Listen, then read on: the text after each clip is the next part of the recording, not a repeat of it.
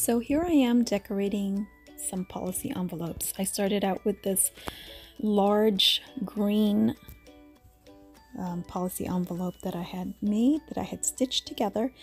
Um, I decided to go ahead and use this tulle that I had gotten from Hobby Lobby and this uh, die cut that I had stitched together. And so uh, first I'm going to some foam tape in the back of my die cut piece here and just gonna go ahead and adhere that down. I should have probably put hot glue also in addition, um, but I didn't. and then I'm gonna go ahead and put the tulle um, over. I really liked how the little stones on the tulle um, looks on top of the die cut. And I actually wrapped it all around um, all the way towards the back. And then here I'm just bunching it up and hot gluing it.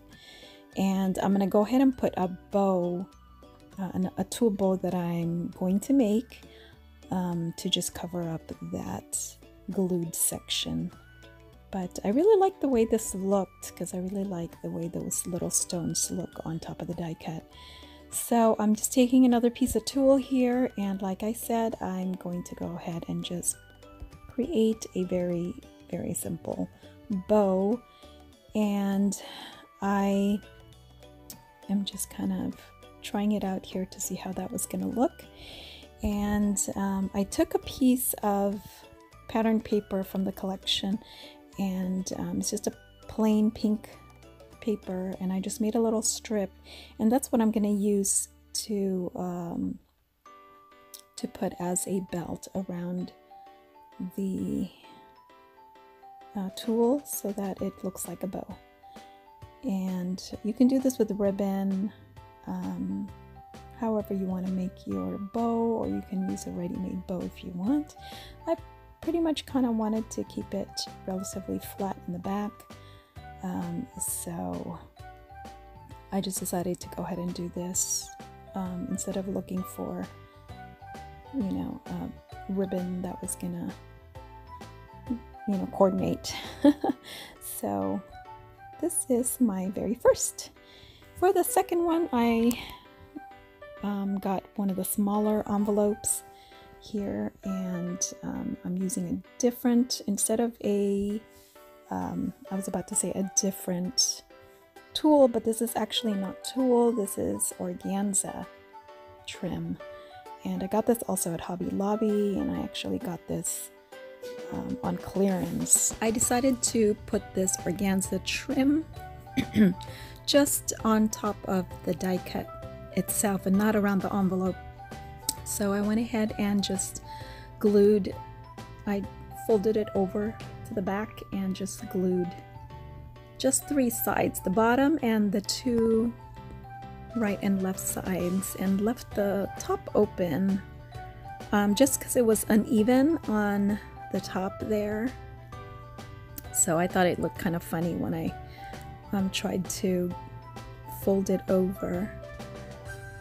So you're gonna see here, I'm just gonna leave it open on the top. And then um, once I adhere this down on the envelope. Can't remember if I popped this up on foam tape as well but once I adhered this down I'm gonna go ahead and put this pretty faux leather bow that I had also made and I also stitched. Um, and I'll see if I can leave the link to the my little bows when I shared them. I'm just cutting the excess here because I'm just really, I kind of want it to have a clean look and just to put that organza just on the front front. Nothing in the back. And that's it for this one really pretty. And then for this floral policy envelope um, I was trying to figure out what die cuts to use and I think I just ended up using the bigger die cut the, that says love yourself on here. And then um, for Um, the tulle, I don't think I used a tulle for this one. Oh, and then I also used that ephemera piece.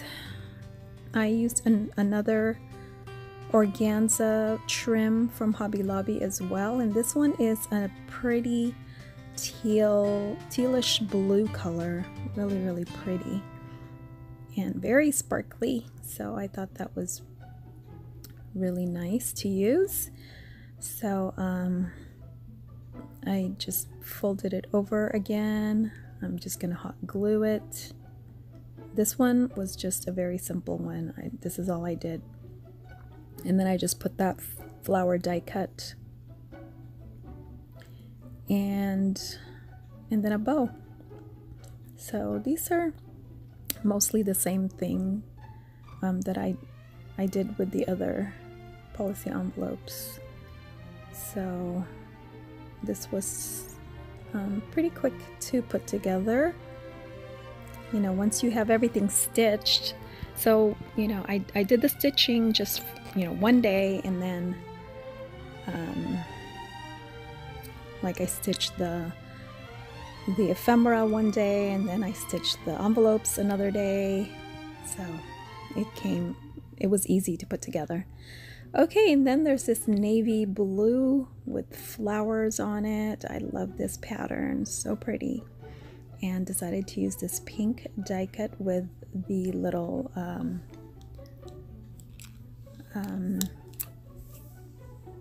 teacup so I'm gonna pop this up again on some foam dots. As you can see, I have this big roll of foam dots that I had gotten from Frank Garcia Studio, and this will last me for a very, very long time. Um, the only thing is it's not that uh, thick. So I still use my other ones from the Dollar Tree because that one's a little bit thicker.